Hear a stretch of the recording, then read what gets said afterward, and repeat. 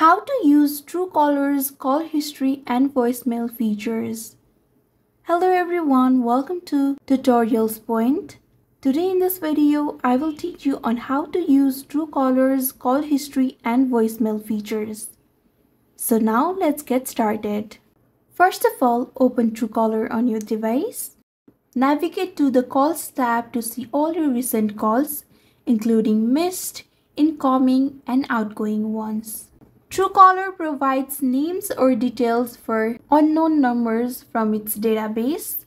Tap on a call entry to block the number or report it as spam. Now, to activate voicemail, in the Truecaller app, go to the settings. Now when you are in the settings, now look for voicemail notifications and go to the voicemail section to listen to your messages. You can also delete, save, or sometimes convert voicemails into text. A quick tip turn on spam protection to reduce unwanted calls in your call history. I hope you found this video helpful. Don't forget to like, share, and subscribe to our channel.